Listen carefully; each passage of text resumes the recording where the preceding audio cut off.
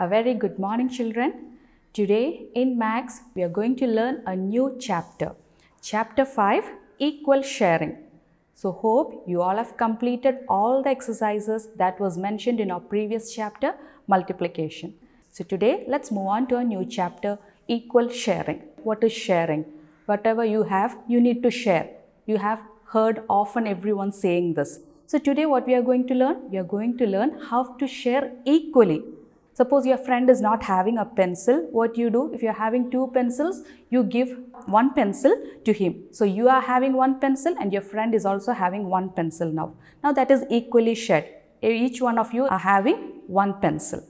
So today we are going to learn about equal sharing. So first let's learn what is equal sharing. When something is grouped or divided equally, it is called as equal sharing. So what is equal sharing? When something is divided equally or it is grouped.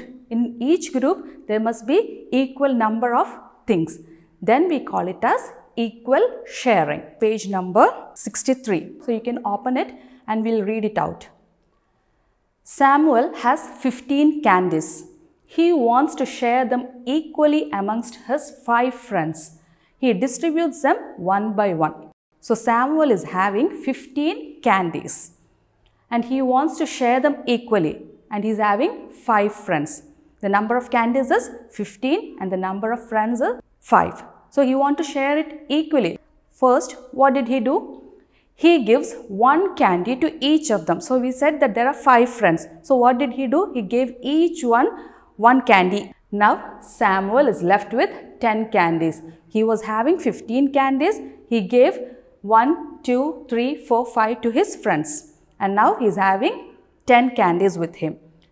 He gives one more candy to each of them. So now what he is doing? He is giving again one more candy. First he gave one candy to each one of them. Now he is giving one more candy. Now Samuel is left with five candies. So to the five friends he again gave each one. He again gives one candy to each of his five friends. So three times he is giving one each to his friend. Now he is left with empty bowl that is zero candies. Now Samuel is having zero candies. So he has distributed equally those candies among his five friends. So that is equal sharing. In this picture you can see some leaves. How many leaves are there? One, two, three, four, five, six. There are total 6 leaves and you can see that they are equally divided. How they are divided? You can see that there are two groups. Total number of leaves are 6 and they are divided into two groups. And how many leaves are there in each group? In each group we have one, two, three, And here also we have one, two, three. So the same number of leaves in both the groups. So we can say that it is equally divided or it is equally shared. Now let's look at this picture. We have some cookies. We can see that there are two groups 1, 2, 3, 4, 5, 6. Total there are 6 cookies and they are grouped into 2. And are they equally shared? Let's see. We can see that in this plate we have 1, 2, 3 cookies and in this plate also we have one, two, three. So they are equally distributed or they are equally divided. So we can say here the total number of cookies is 6. They are divided into two groups. Each group has three cookies. So we are now going to learn about division. In our previous chapters, we learned about addition, subtraction, multiplication. So here we are going to learn about division. Here you can see some straws. Here you have 20 straws. Now we have to equally divide them. How can we divide? They are divided into five groups. 1, 2, 3, 4, 5. So the total number 20 straws are divided into 5 groups and we have to find out in each group whether they are equally divided or not.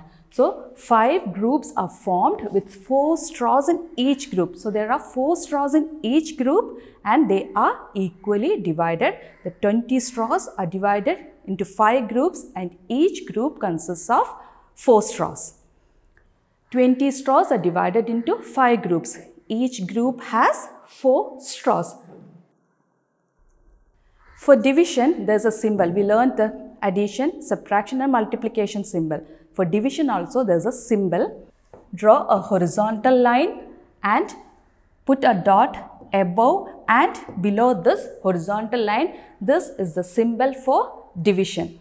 So here we can read this as 20 divided by 5 is equal to 4. You can see the symbol used for division here and how it is read. This is a division sentence. 20 divided by 5 is equal to 4. This is how we read this. 20 divided by 5 is equal to 4. In this, 20 is the dividend, 5 is the divisor and 4 is the quotient. So, we, the result we get, the answer we get is called in division the quotient. Let's check this picture. In this picture, there are some flowers. So, how many are there in total?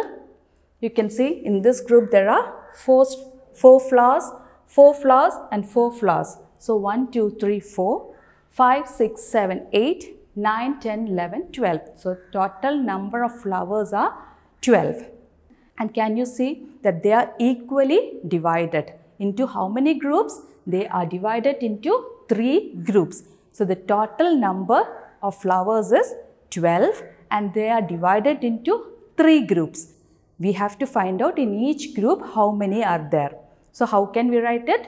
12 divided by 3 is equal to 4. You can see in each group there are 4 flowers. Here the first group there are 4 flowers, second group there are 4 flowers and in the third group there are 4 flowers and so they are equally divided. So we can say that 12 divided by 3 is equal to 4. So let's see here 12 divided by 3 is equal to 4. So 12 is the dividend, 3 is the divisor and 4 is the answer and that is called the quotient. So in division we say the answer as quotient and the first number the dividend here 3 is the divisor. Let's check what is dividend. The total number of things to be divided. So the total number of things is the dividend and that will be written first. Then we have the divisor, the number of groups that is the divisor and the quotient, the result of division that tells the number of things in each group. So, the result that we get when we divide the dividend and the divisor that is called the quotient. Here there are some igloos. So, let's check how can we divide this. Total there are 15 igloos here. So, that should be divided equally into groups. So, how can we divide them? we learned that there are 15 igloos and you can see that these 15 igloos are divided into three equal groups. So, we can say that dividend is 15 that is 15 the total number of igloos. So, the dividend is 15 and the total number of groups is 3. So, here 3 is the divisor and let's check how many igloos are there in each group. 1, 2, 3, 4, 5. So, there are 5 igloos and it is equally divided into 3 groups. So, the answer is 15 divided by 3 is equal to 5. So, what is the quotient? It is 5. Here you can see some birds and their nests. So, how many birds are there? 1, 2, 3, 4, 5, 6, 7, 8. Total number of birds are 8. So, 8 is the dividend here. So, 8 we have written the dividend. Now, there are some nests. They are grouped into nest. So, we have 1, 2, 3, 4. 4 nests and 4 becomes the divisor.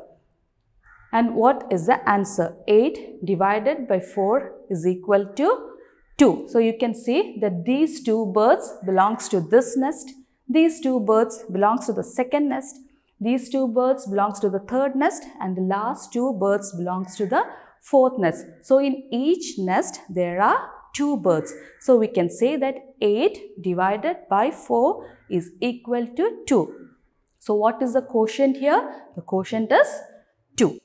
Here we have an exercise. In your book it's page number 64 practice coach. Answer the following questions. one has been done for you. 12 bows are equally divided among 3 children. How many bows are there with each child? So what we have to find out? Bows are given. So 12 bows are equally divided among 3 children. So what is the total number of bows? They are 12. You can see the 12 bows here and they are divided among 3 children. So how many groups? 3 groups. Now we have to find out in each group how many bows are there. So the picture shows that 12 bows are here and it's divided into 3 groups. Now let's check in each group how many are there.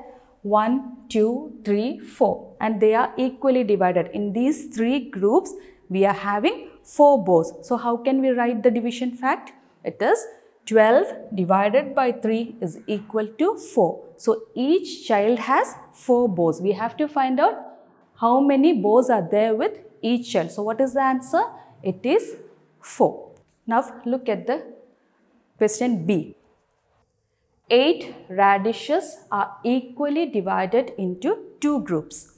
How many radishes are there in each group? So what is the total number of radishes? It is 8. You can see the 8 radishes given in the first box and it's divided into 2 groups. So how many groups?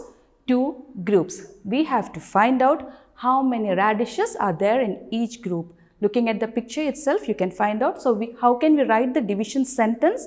It is the total number of radishes divided by the groups. So how can we write it? We have to write it 8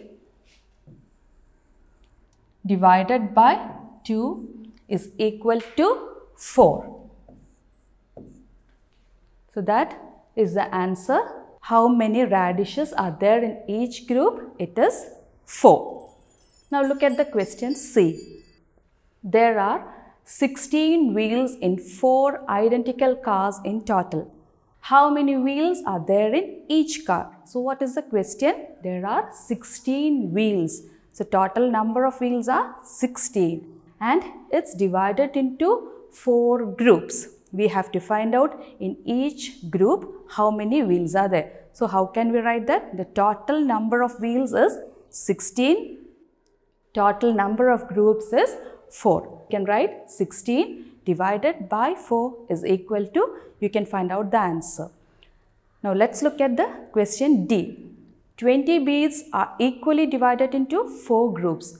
How many beads are there in each group? So you can see that in this box there are 20 beads. So the total number of beads are 20 and they are divided into 4 groups. So how can we write the division sentence? 20 divided by 4 and we have to find out in each group how many beads are there. So you can count and write it there. So these two can be done as homework. So that's all for today. Hope you all understood what is equal sharing. We'll be meeting in the next class. Till then, thank you.